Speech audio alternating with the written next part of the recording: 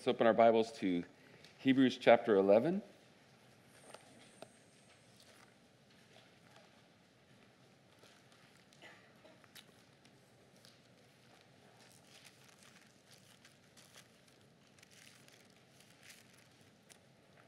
This is a good verse to be in for the, uh, the week before Easter.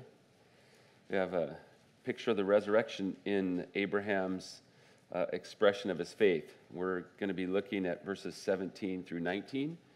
And so remember, uh, as we normally will cover a larger section on the Sunday evening service and then choose out of that section what we'll focus on for the morning. Uh, once we got to Hebrews 11, we decided to uh, go more deliberately and look at each one of these individuals uh, and examine what they have to say to us about faith. They, they all learned something in their life that's very profound and helpful uh, to us to apply to our lives. Maybe they, they learned it the hard way, reading it off the page and saying, oh, that makes sense. I'm going to do that. then you can learn it the easy way. So that's our desire is to focus on um, the lessons that they learned. And so we're, we're still looking at Abraham. We, we already talked about him before, and then we talked about his wife, and then we had the passage that kind of was a summary statement of these that came up to this point. And then now we're looking again at Abraham. So, verse 17, it says, By faith, Abraham, when he was tested, offered up Isaac, and he who had received the promises offered up his only begotten son, of whom it was said, In Isaac your seed shall be called, concluding that God was able to raise him up, even from the dead, from which he also received him in a figurative sense.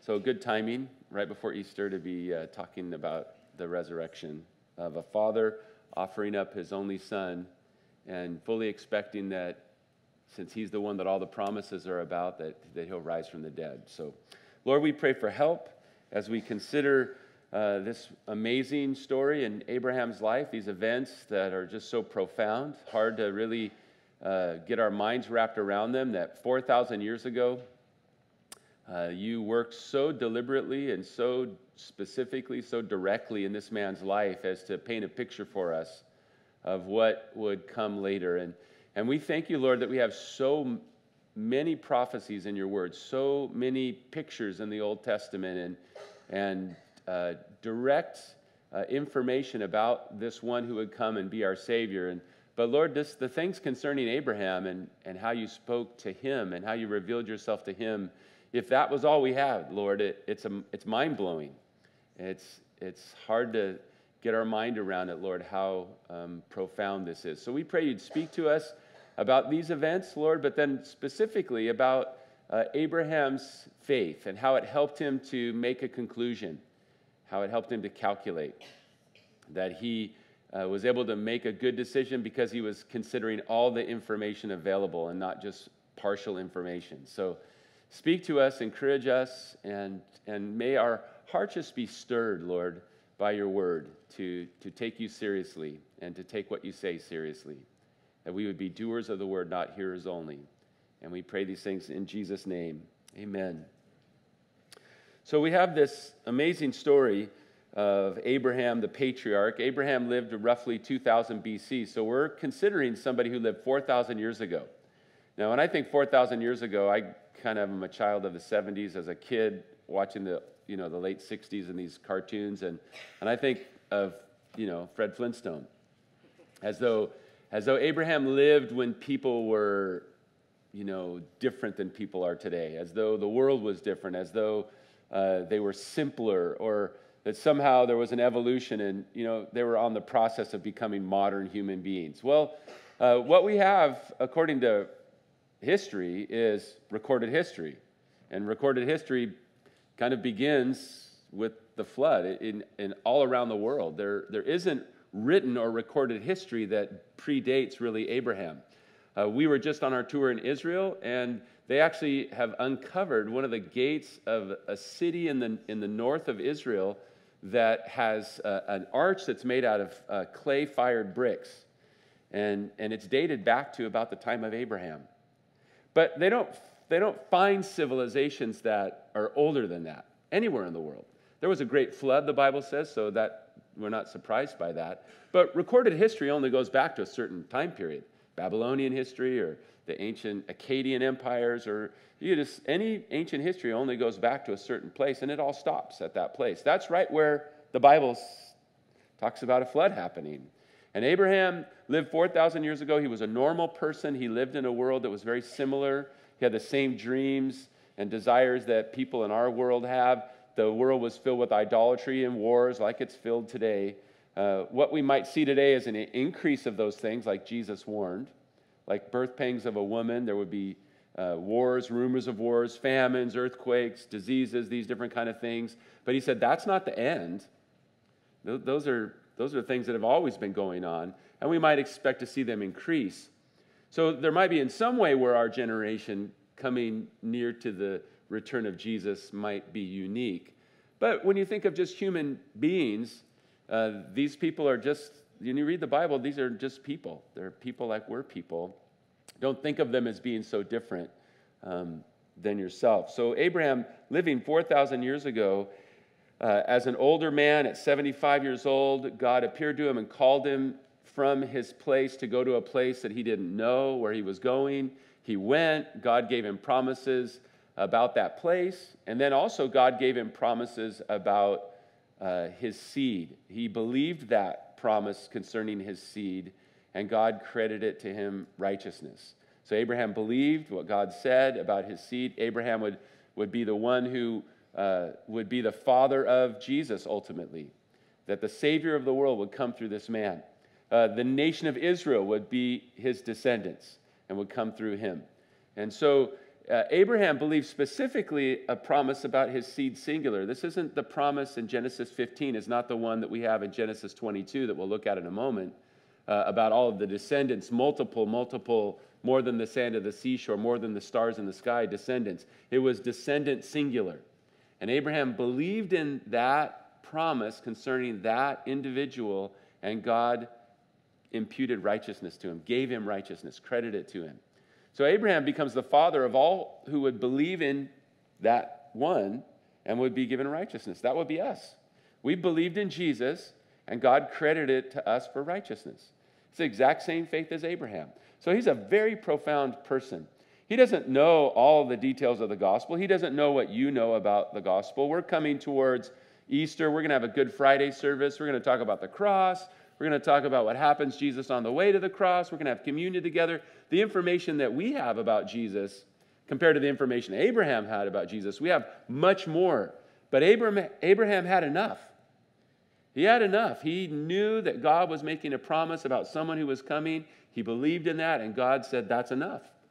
You know enough, you believe enough, and he gave him righteousness as a gift.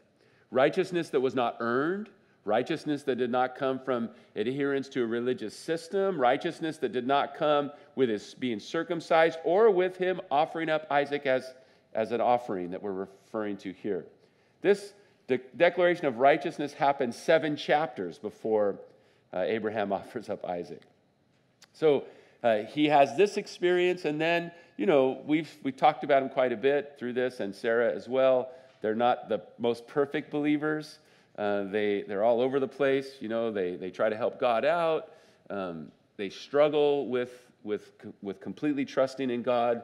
But they come to this point where now Isaac is grown somewhat, and uh, he's still a young man, though. And we have the account here that Abraham was tested, and he offered up Isaac and so let's go back and read that story in Genesis, Genesis chapter 22. We'll look at it for ourselves. This author's reminding us, he's, he's saying, hey, you know this story, so we're going to go back and look at it. Genesis 22, starting in verse 1. It came to pass after these things that God tested Abraham, and he said to him, Abraham, he said, Here I am.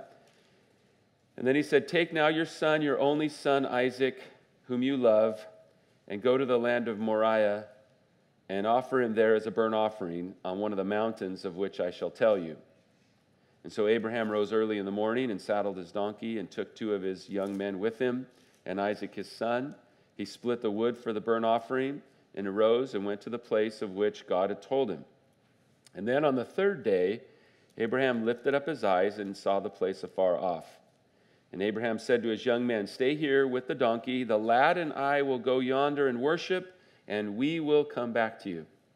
And so Abraham took the wood of the burnt offering and laid it on Isaac his son. And he took the fire in his hand and a knife, and the two of them went together. But Isaac spoke to Abraham his father and said, My father. He said, Here I am, my son. And he said, Look, the fire and the wood, but where is the lamb for a burnt offering?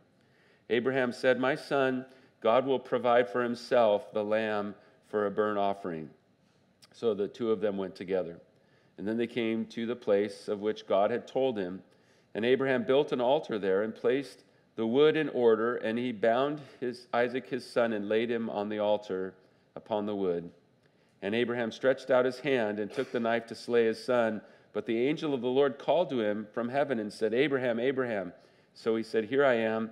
And then he said, Do not lay your hand on the lad or do anything to him, for now I know that you fear God, since you have not withheld your son, your only son, from me. And then Abraham lifted up his eyes and looked, and there was, and there behold, there was a ram caught in a thicket by its horns. So Abraham went and took the ram and offered it up for a burnt offering instead of his son. And Abraham called the name of the place, The Lord will provide, as it is said to this day, In the mount of the Lord it shall be provided. So, pretty radical story. There's nothing about the nature and character of God that would make you expect something like this. Uh, child sacrifice is an abomination, it's condemned in the law of God. God never intimates that he would want anybody to sacrifice uh, a, another human being. And yet, in this particular case, he asks Abraham to do something that we know is an abomination. It's a very interesting and challenging passage in that sense. It calls into question the character of God. The word tested in verse 1. It came to pass after these things that God tested Abraham. And, and God asking Abraham to do something that would be so out of character for God, out of character for Abraham, and so challenging. And I've read uh, and, and heard different uh, unbelievers or atheists, you know, kind of animated opposers to the, to the faith and, and, you know, just condemning God for saying something like this. Listen, God can say whatever he wants, he's God. And if you have a beef with that, I'm really sorry. I can't defend him. He's God. He can say and do whatever he wants. Um, now, he didn't have Abraham sacrifice his son. He actually provided a sacrifice, actually, a, an amazing picture of a wonder of wonders when a father takes his only son to a specific place to offer him. It's the exact same place where God the Father sent his son Jesus, carrying the wood, carrying his own cross, and going to a place where, where a father did sacrifice his son for the sins of the world. So if I step back and look from it, I don't have any problem with the character of God. If I zero in on it and I want to find fault with God, well, I'm then find fault with God. That's that. Then you can argue with him about that. Um, he can defend himself. Uh, God tested Abraham. Some people have a problem with that concept of testing, and we need to just talk about this for a moment. I want to look at a couple of verses so that we can set this aside and focus more on uh, really the application I want to get to. Um, the way God tests us is for our benefit. In this particular case with Abraham, this is recorded in the scripture. Uh, Abraham, we have the phrase, he's taking one for the team, in the sense that Abraham is going to have a position related to all of humanity. His life is going to speak to everybody forever. He's unique. My life isn't going to speak to everybody forever, but this man's life is. And it comes through the testing. There's something about the validity of his faith and his belief in God, his understanding of who God is, that's something that he completely doesn't understand why God would say it or that God would ask him to do it. But there's something implicit in his trust, and he makes a mental calculation that God must know something I don't know. God must have some plan. There must be something about what God wants to do, and he obeys. And, and so he becomes an example to us. And this idea of testing in the scripture and, and I think we can see it really clearly with him. It might be harder to see in my life, or it might be harder for you to see in your life. But because when we're being tested, uh, you know, stuff is getting burned up and it's getting cut off and it's and it's going up in smoke and on all of our insecurities are rising to the surface and and usually when I'm being tested, I'm a mess. there's, there's usually more bad than good happening. And it's all happening at once. Some chaos gets stirred up, and, and God's removing these impurities. And, and many times with me, it's hard to see how much good is actually there that's actually being refined. The, the verse I'm referring to that kind of describes this is 1 Peter. If you want to turn there, 1 Peter chapter 1. We're going to break in your Bible a little bit. 1 Peter chapter 1, verses 6 and 7. Talking about trials, Peter describes them like this. He says, In this you greatly rejoice, though now for a little while, if need be, you've been grieved by various trials. But look how he describes it in verse 7 that the genuineness of your faith. So the trials are not going to hurt the genuineness of your faith. What are the trials going to hurt? My selfish ambition, my desire to get what I want, when I want, how I want my desire to have uh, hot fudge on all my sundaes. My, my desire to, you know, whatever it is that I have a desire. Now, a various trial. I want to be healthy. I don't want to have weakness. I don't want to have difficulty. I don't want to be confused. I don't want my life messed with. Well, all of that in the trial, well, that's going to that's going to suffer. What isn't going to suffer in the trial is the genuineness of my faith. Oh, in the in the difficulty of it, he says that the genuineness of your faith, being much more precious than gold that perishes, though it's tested by fire, may be found to praise, honor, and glory at the revelation of Jesus Christ. Like gold is tested by fire, the gold uh, refiner and the refining process, that person putting the gold through the process knows that mixed with his gold are impurities. And the fire, if he heats the fire up enough, the gold is not going to be hurt by the fire. But what will happen to these alloys that are mixed in there with his gold that are going to ruin his final product? They're going to make, make it less valuable, it's going to be less precious. So, what the refiner does is he heats up and he heats up and he heats up, and then the impurities are revealed and they're consumed and they're burned off. And then, working with the gold now, he's removed the junk, and, and the gold never was hurt by the fire. But what was hurt by the fire was all the stuff that had to go, anyways. So here's this picture for us in our trials when we're tested. God's looking at me and He says, Man, I see something really genuine there. And I say, Wait, where? I'm not really sure. I'm not sure I'm seeing it. And then into the fire you go. And what, what, are you, what are you aware of immediately? The smells of the smoke of what? The impurities. And you go, Oh, this is happening. This, oh no, and and yeah, when will I ever trust God? And ah, and all these things are coming up, and they're being consumed by the fire. And what's happening to my faith? My faith's not being hurt at all. My faith has no problem. My faith is fine. Who the genuine things that are there from God are perfect. They're fine. The fire doesn't hurt them. But what gets hurt? Oh, my flesh, my sin nature, all the corruption that's in there intermingled and intermixed just woven together, and you think, well, there's some good there, and there's a whole bunch of not so much that's good. And then you get a nice trial, and what happens? Some of the impurities are burned off, and they're just not there anymore. You go through a good trial, and you know, some things happen to you, don't they? You just are different when you come out of it. And somebody else is, and they say, well, I don't know. And you think, well, you know, it's just, it's done. It's over. I'm, I'm, I'm fine. I'm good. I have peace. How can you have peace? And someone next to you might be panicking on your behalf. No, you no need for panic on my behalf. I'm fine. God's going to take care of it. But what comes to the surface when we're being tested? We're being proved. God, the refiner, has these process, refining processes, and it's a testing not for his benefit, but for our benefit. It reveals, it brings things to light, it brings things to the surface. And we need to make a distinction here. Turn to the book right before 1 Peter, James, James chapter 1. Because James talks about trials, and he finishes his section talking about these trials and how they, it's a testing of our faith and what it produces.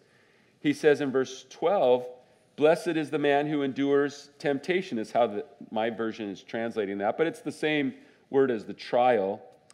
You're, you're blessed when you endure that trial, that difficulty, that challenge. When you, you've been approved, you will receive the, the crown of life which the Lord has promised to those who love him. So there's always an end to the trial. The trials, when you're in a trial, and if you came in, in a trial today and you came in the middle of it, listen, there's an end to it. And the end of it is praise and glory and honor at the revealing of Jesus Christ. That, that fire, it proves what's genuine, and that genuine gives glory to God. But then, verse 13, and we have to be, be careful about this because uh, sometimes people uh, are, are, don't always make a clear distinction between testing and being tempted.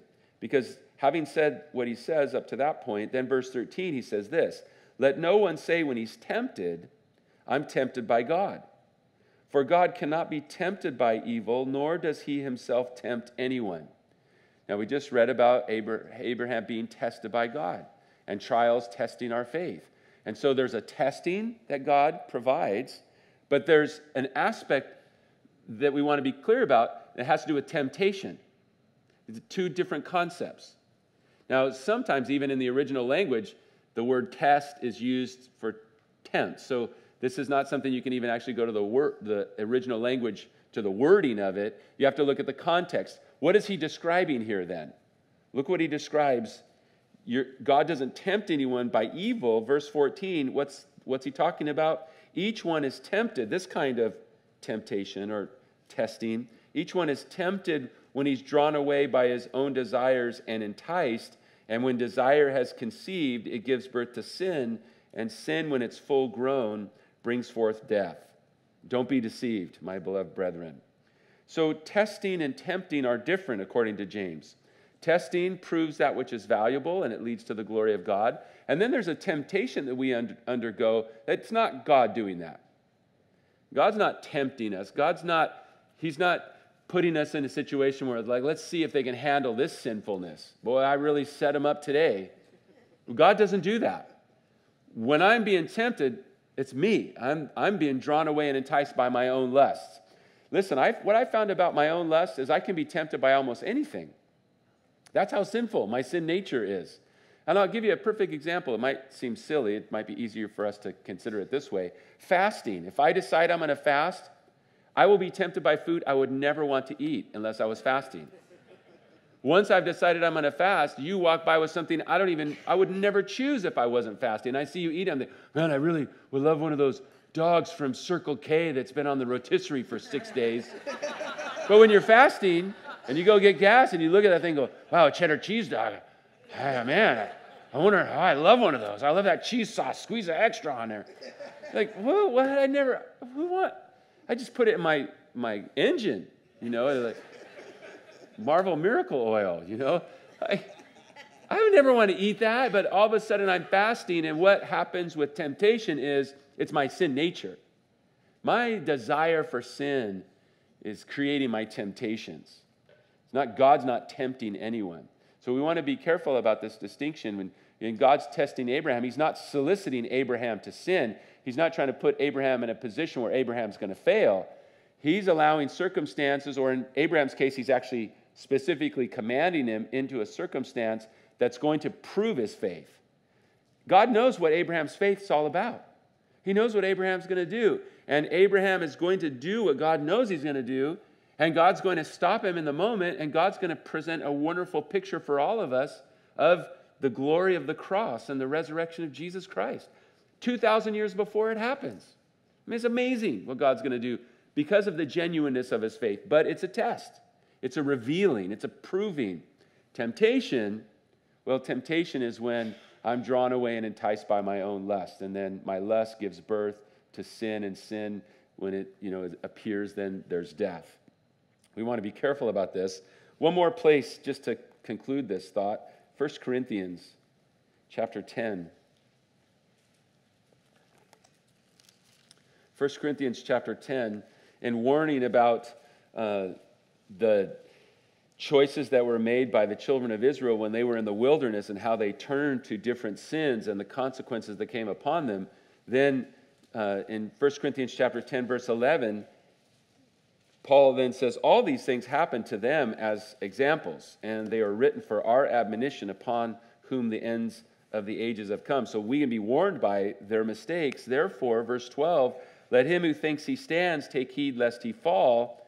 And verse 13, let no temptation has overtaken you except such as is common to man, and God is faithful, who will not allow you to be tempted beyond what you're able, but with that temptation will always make a way of escape, so that you may be able to bear it. So, while God might provide times of testing and trial that prove our faith, in a temptation, God's going to show you the exit door. God's actually going to get you out of a temptation. So, if you're being tempted, look for God to get you out of it. If you're in a trial, look to God. He's, he's probably not going to, you know, you're going to go through it for however long you're going to go through it. That there's a difference between a trial or a test that's proving your faith, removing the impurities, and a temptation where you're being solicited to sin. If you find yourself being tempted, start to, Lord, show me, get me out of this, rescue me. God doesn't want you in bondage to sin. He doesn't, you know, sin will be your master and it will ruin your life. It won't listen to you. People that profess they, well, I want to, I've got freedom. Well, if you use your freedom to serve sin, you will have no freedom. You will give up all your freedom and you will be in bondage to sin. You'll have less freedom than you had when you thought you didn't have any freedom. You'll be a complete slave of sin. Alcohol will make you its slave. Weed will make you its slave. Relationship will make you like your your greed, money will make you a slave. Uh, ambition will make you a. I mean, anything, any idol that I make will enslave me. Will, it will become a cruel master, and I will lose everything valuable, and it will, it will kill me. So, so when we're being tempted, look for God to get you out. Jesus said, You'll know the truth, and the truth will set you free. Jesus, where the Spirit of the Lord is, there's liberty. God wants to rescue us out of sin. So when you're facing temptation, ask God for the way out. Show, Lord, get me out of this. This will get me, or it's already got me. Get me out of it. I don't want to have this in my life look for the escape, but with the trial, you have to endure it. And remember what Jesus in, this, in the Lord's Prayer uh, lead us not into temptation. Where Jesus taught us to expect, hey, pray for God to, to lead you away from temptation. So we want to we wanna make a, a, a, a clarification there about Abraham. So let's go back to Genesis 22 and just look at this again because we're going to consider this as the writer to the Hebrews does. It came to pass in verse 1, it said again, after these things that God tested Abraham. And in chapter 21 is a reiteration of the promise that Isaac is the child of promise. God emphasizes that in chapter 21. He's the kid, he's the one. And even to the point where in verse 2, you'll notice God says, Take your son, your only son. Well, doesn't he have Ishmael? Yeah. But God already said Ishmael is not part of this process. Ishmael, uh, I'll, I'll take care of him. He's going to be a wild man. God actually makes statements about Ishmael's life and actually takes care of Ishmael and his mom uh, supernaturally. Uh, but, but the specific promise is for Abraham and his son Isaac. And God actually says, Take your son, your only son, Isaac.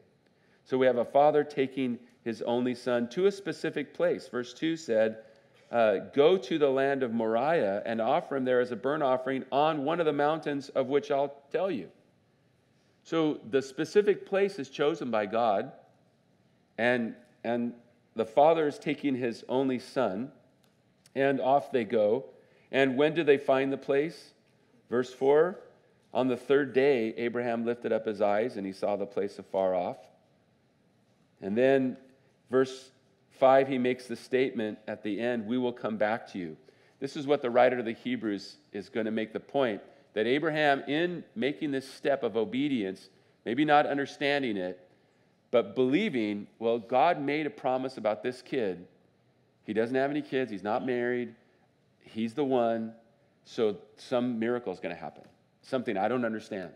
So I'm going to do what God's telling me to do, even though I don't understand it and, and, it's, and it's really in a way outside of the character of God. I really don't understand why God would say this, but he's obedient and he actually says, We're coming back. Well, how do you know that you're coming back, Abraham? you and the boy are coming back. What do you mean you and the boy are coming back? You're going up there to kill the boy. We're coming back because this kid has promises about his life. They can't not come true. Now, Abraham has reason to believe God will keep his promises, right?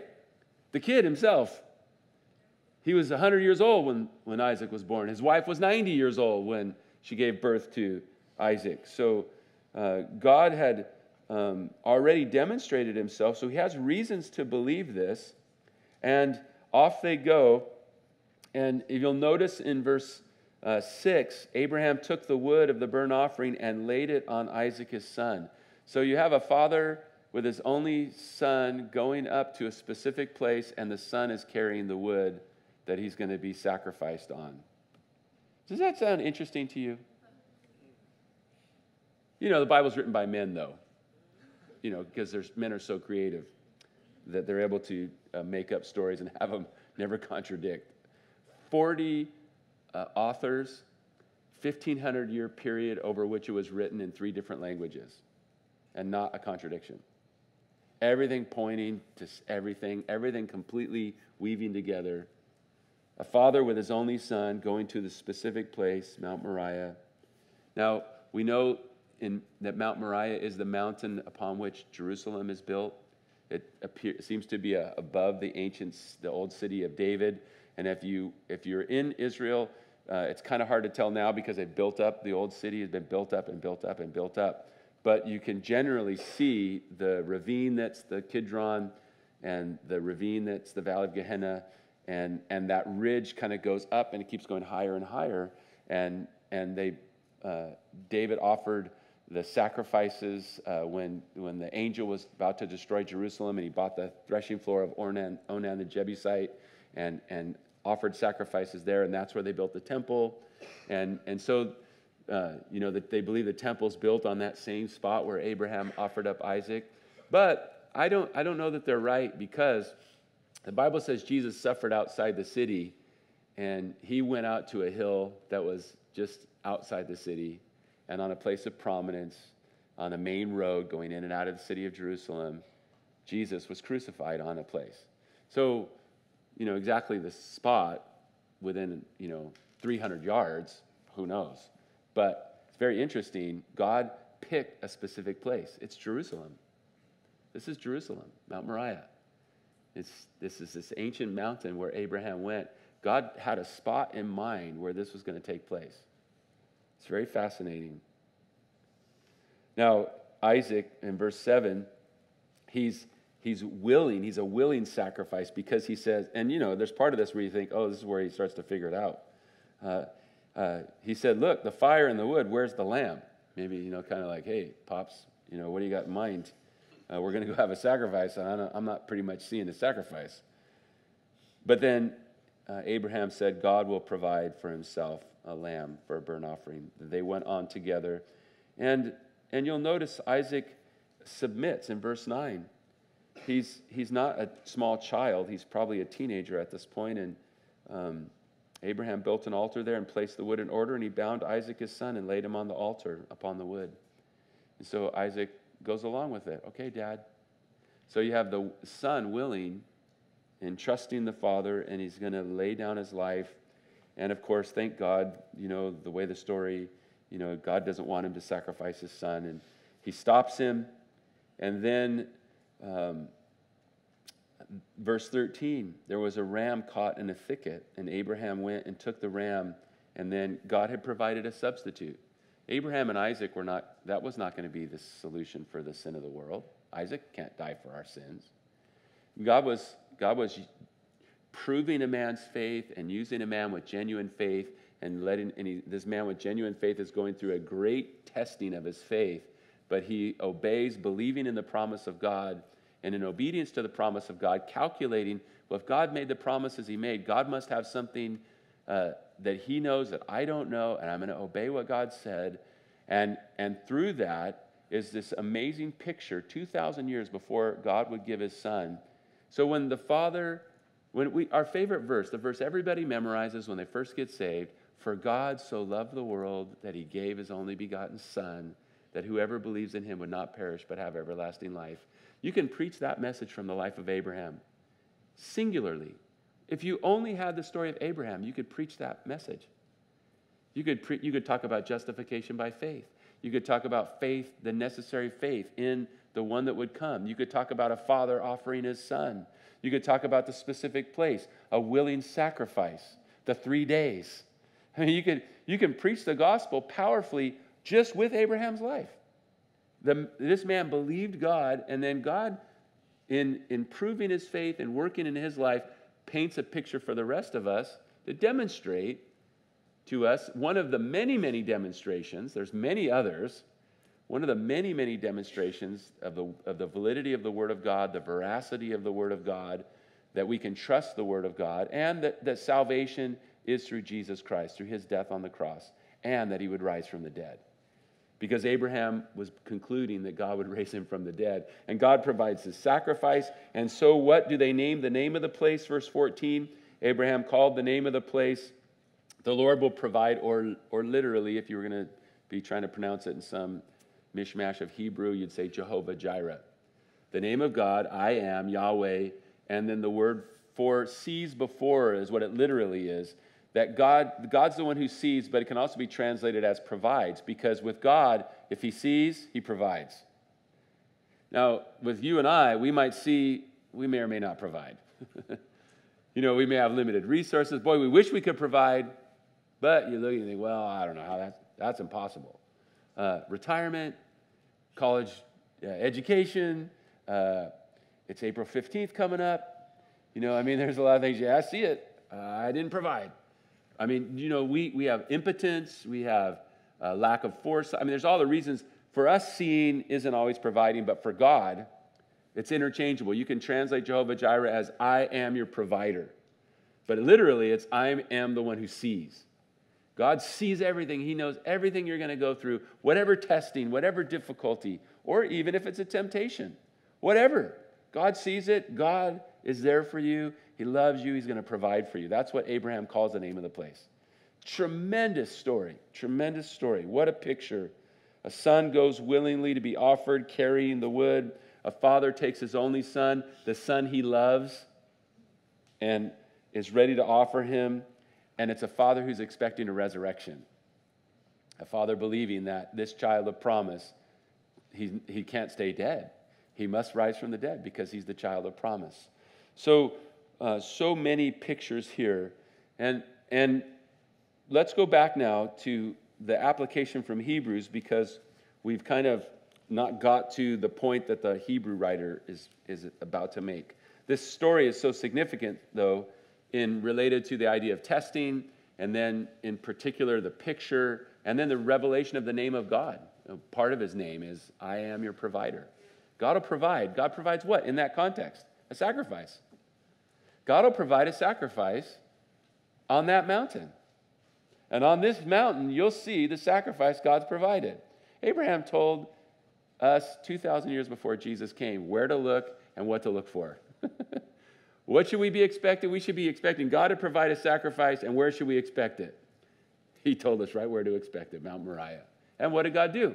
God provided a sacrifice, and where? Albuquerque, New Mexico. That's where, you know? No, that's not where. Elk Grove, California. No, that's not where. A specific location. Where was Jesus crucified? Exactly where you'd expect him to be crucified. The place where a father was offering up his son. That's where Jesus gave his life for us. So, back to our passage, the writer here, remember, we're looking at, at what these individuals can teach us about faith. What do they have to say to us about faith? By faith, it says in, back in Hebrews 11, verse 17, by faith, Abraham, when he was tested, offered up Isaac, who he had received, uh, and he who had received the promises offered up his only begotten son, of whom it was said, In Isaac your seed shall be called. So that's the setting, that's what we've talked about. By faith, he offered him up. But there's a, another key word here that we haven't got to yet, and this is what Abraham would have to say to us. This is a great lesson about faith that Abraham will teach us. And it's the first word in verse 19. If you're reading the New King James, it says concluding. He made a conclusion. By faith, he did this because he concluded something. By faith, he concluded something. There, there's a reason why he was willing to do this, and it was because he made a mental calculation.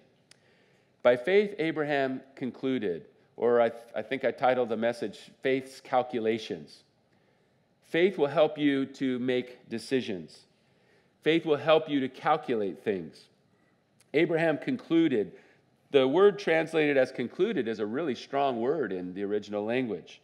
It means, number one definition, to determine by mathematical process. to, and the Old English would be to reckon or to calculate. The idea that this is something that can be determined through a rigorous intellectual process. But, and, and mathematics, I think, is a good way to think about it.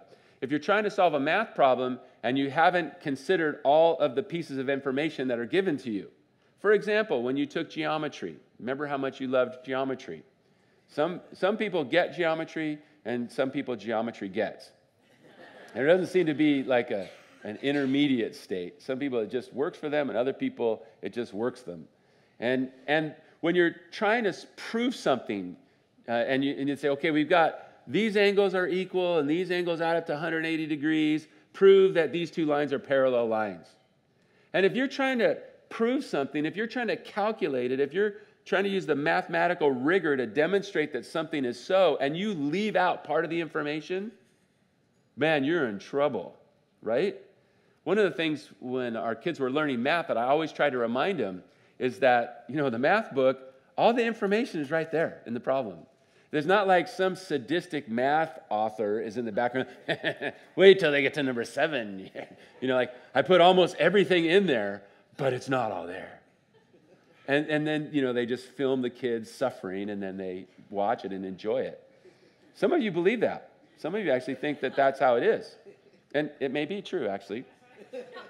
I mean, I had some math teachers that I think that they really got a lot out of that. Um, this is that kind of a word of mathematical rigor.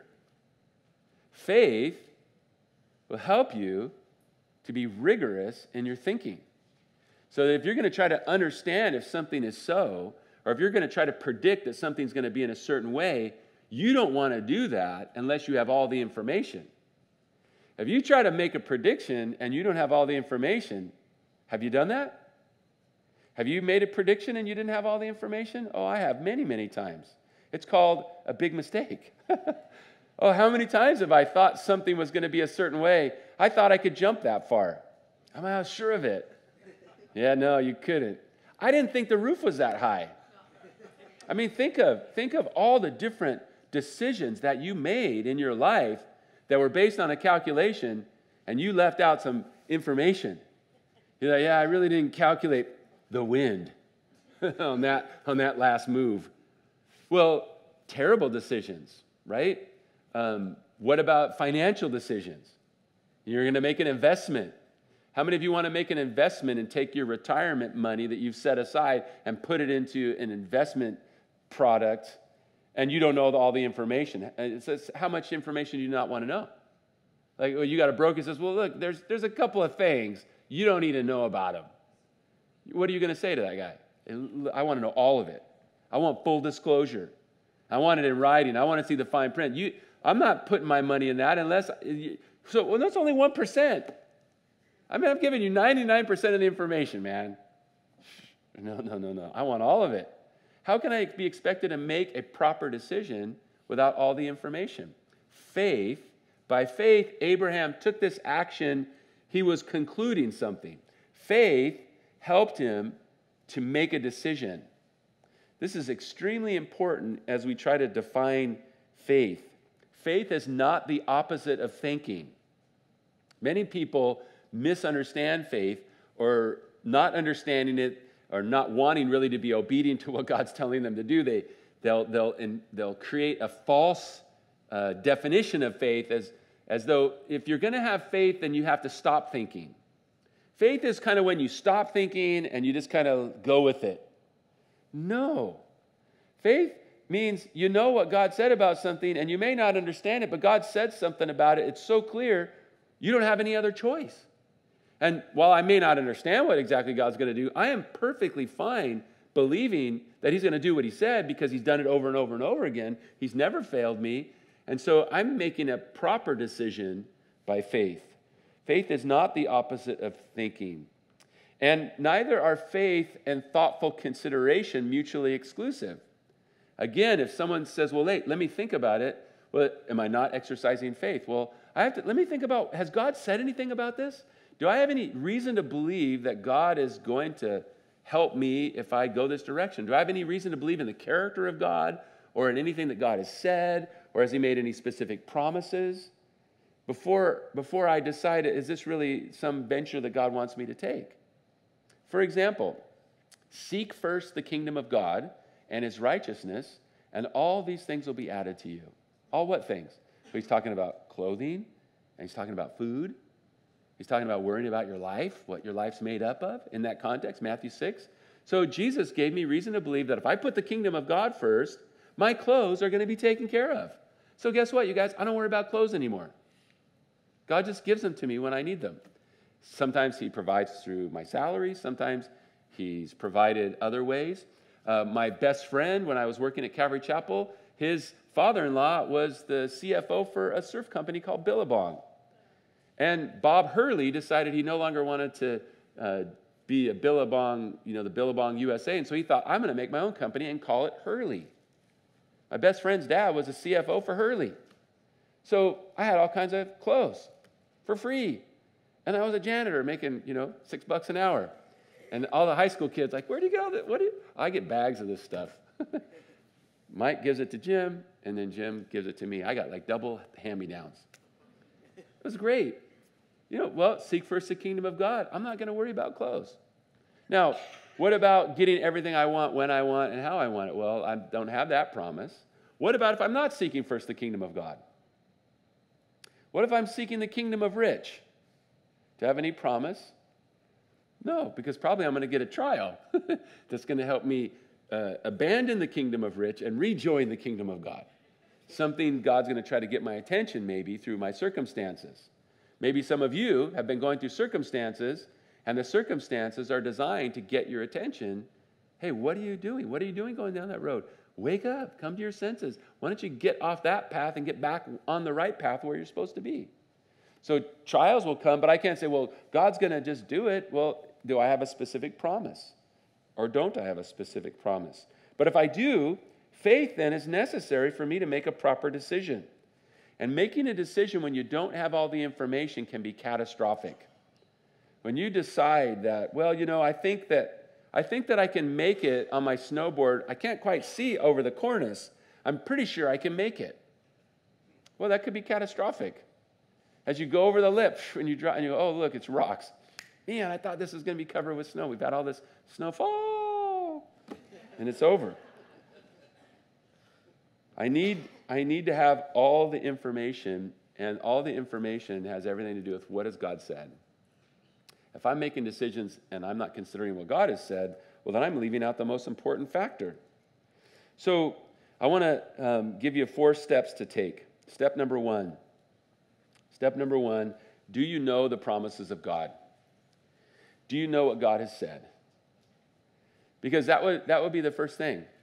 If you don't know what God has said, that would be like trying to uh, say, well, I'm going to prove that these lines are parallel. Well, have you looked at the givens? Have you looked at what they told you? You know, what, well, I don't need any of that junk.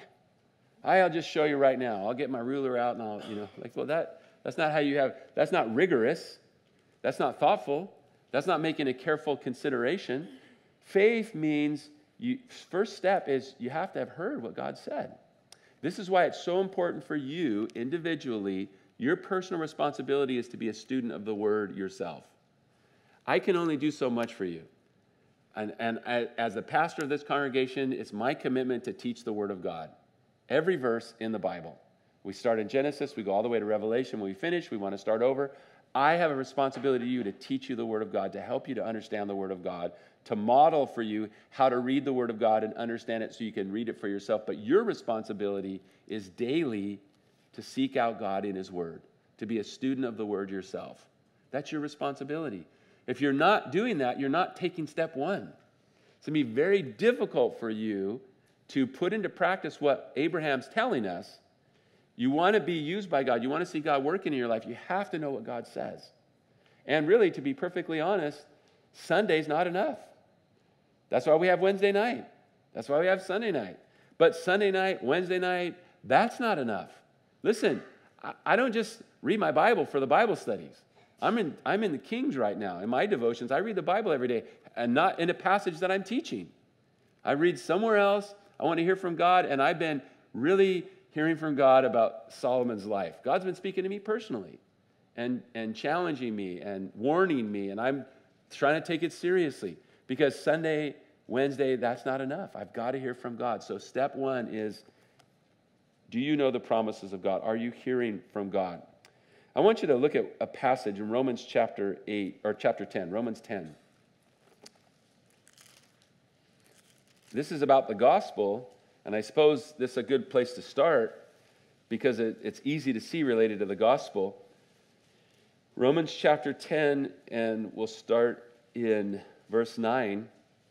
It says, If you confess with your mouth the Lord Jesus and believe in your heart that God raised him from the dead, you'll be saved. That's a pretty wonderful promise. That might be news to somebody here. Here's some good news for you. If you confess with your mouth Jesus is Lord and you believe in your heart that God raised him from the dead, then you can be saved. That's a good promise. Now you might say, I don't think I could be saved. Well, here's what the Bible says You confess with your mouth Jesus is Lord. Are you willing to let Jesus be the Lord of your life? Are you done being your own Lord? Are you done messing up your life? Are you ready to surrender? Are you ready to repent and turn from your sin and, and give your life to God and say, Jesus, be my Lord? And, and if you're ready to believe in your heart that God raised him from the dead, you can be saved. Well, that's a great promise, isn't it? He says in verse 10 With the heart one believes unto righteousness, with the mouth confession is made unto salvation. The scripture says, Whoever believes on him will not be put to shame. So there's another promise. There's no distinction between the Jew and the Greek. The same Lord over all is rich to all who call upon him. Whoever calls on the name of the Lord will be saved. There's another promise. Then look at verse 14. Here's the process. How then shall they call on him in whom they've not believed? If you call upon the name of the Lord, you'll be saved. But how can they call upon him if they've never believed in him? And, he says, how shall they believe in him um, whom they not heard? He's getting into the practical nuts and bolts process of this. This is the promise, but how are you going to experience the benefit of the promise if you've never even heard? So if you're here, you just heard. You heard that you could be saved. You heard that you could confess with your mouth Jesus is Lord. Are you, do you want Jesus to be the Lord of your life? Do you want to be saved? Well, this is how you do it. You make Jesus Lord of your life. You confess him as Lord. You believe in your heart that God raised him from the dead. Whoever calls on the name of the Lord will be saved. Believe and you can be saved. Confess with your mouth, Jesus is Lord, you're saved. That's what Paul's saying. But if you don't hear, how can you believe? And that, that's a powerful statement. So if you're here and you're a Christian, you say, Well, I don't know, I don't read the Bible that much. How are you going to know the promises of God if you don't read the Bible that much? I don't know the promises. I'm bankrupt. I got five bucks in my ATM and I just, you know, charged a $40 charge of faith. I got, no, I got nothing, and my, my faith checks are bouncing. Well, man, how are you going to how are you going to believe unless you hear? Read the Bible. Read the Bible. Okay? Read it. Read it for yourself. Don't take my word for it. Read it for yourself. Get to know the scriptures. Seek God through his word. Ask him, Lord, is there some promise for me? Is there something you want to tell me? Is there some direction you want to give me? And let God speak to you. The first step is hearing. What have you heard about God? What have you heard about him? Is it true? How would you know if it's true? Listen, I mean, I've got the same social media access that you do, the same media accounts, the same television that you have. I mean, you know, the world is saying all kinds of stuff about God. Is it accurate? Is it true? How will I know? I got to hear. The first step is to hear. And this is a way we can minister to one another. This is the best way for you to be a good friend to your friends is remind people of what God said. That means you need to know what God said. Remind your friends. When you, you're with somebody and they're troubled, remind them. Say, you know what? That reminds me of something that God said. You remind your friends what God said. What a blessing to have Christian friends that are going to remind you what God said. And you start to, like, you know, you're making your mathematical rigorous analysis and, and you're about to panic. And then someone says, wait a minute, you forgot this component. Remember, God said this. And go, oh, yeah, well, that's a game changer right there. Thank you for reminding me. Step number two believe in the promises of God. So, step one, do you know the promises of God? Step two, believe them. Believe them. And I mean a legitimate promise of God, not a man made promise. And I wish I didn't have to make this caution, but it's an epidemic that we have of false teaching in the country and across the world that uh, you can kind of create your own promises or you can dictate to God what the promises are. I'm talking about a legitimate promise of God. What did God actually say? What, what is his promise? But having said that, God's, God's given us so much hope in so many situations through his word. My, Paul said, My God shall supply all your need according to his riches and glory by Christ Jesus. Everything I need is going to be provided by God. Not everything I want. And some things that I think that I need apparently are wants because God didn't provide for them. And sometimes that's part of the trial, right? You're in the difficulty and your faith is being proved, and you think, Lord, I know this is a need. I've got your promise. And, and you're going through that difficult season, and you your, the fire is refining your faith, and your faith is being purified, and the impurities are being burned up. But a legitimate promise of God, God will never fail. He always keeps his promises. He's never failed, ever, and he never will. So believe in the promises of God. Are you in a situation and God's word has spoken to it? Well, stick with the word of God. I don't know how it's going to happen, but man, the kid probably will rise from the dead. and that's what Abraham says. He concluded God's going to raise him from the dead. Number three, step number three, make a decision then based upon all that information that's available. Perhaps God is going to do something that will make everyone's ears tingle. 1 Samuel 3:11 Then the Lord said to Samuel, behold I will do something in Israel at which both ears of everyone who hears it will tingle. So you have, a, you have warrant to expect that God might perhaps do something in a way that when it unfolds, people will go, Man, that's crazy. What happened? Samuel is in a corrupt situation. He has no power. He, he's, he's sort of dropped off at the temple by his mom. He's this child of promise. Eli's the priest. He's got the power. His sons are wicked. They've corrupted the, the religious life of the nation. And here's this little kid right in the middle of it. And God said, I'm doing something. I'm going to take out Eli. I'm going to take out his wicked kid. Samuel doesn't have to do anything, just got a crazy promise. But when I do this, if everybody knew this, their ears would tingle. They would say, What, what was that? God might want to do something that will make everyone's ears tingle. Perhaps God is going to do something that we wouldn't believe if He told us. I've had that happen many times. God just kind of left me out of the loop so I wouldn't be a hindrance. Has that happened to you before? Where you just, God says, you know, you don't, you're not in the need to know group. Habakkuk 1 5. God said, Look among the nations and watch, be utterly astounded. I will work a work in your days which you would not believe, though it were told you. So perhaps God's going to do something that we wouldn't believe even if He told us. Perhaps God's going to do something that we don't see or that we can't comprehend, like what Abraham thought, our passage in Genesis 22. He concluded that God would raise him from the dead. He, he thought, well, no one gets raised from. I mean, how is that possible? But this kid, there's a promise. He's going to have kids. I can't kill him. It's impossible. I mean, if I killed him, he would live. I, the promise of God is not going to be nullified. Perhaps God's going to do something that we don't see. Or perhaps God's ways are above our ways, the great passage that you know by heart, Isaiah 55, verses 8 and 9. My thoughts are not your thoughts, nor are your ways my ways, says the Lord. As the heavens are higher than the earth, so are my ways higher than your ways, and my thoughts than your thoughts. You know, when we make a decision based upon all the information, now we've just aligned ourselves with things that only God could do. And we've done it by faith. We've done it according to the Word of God.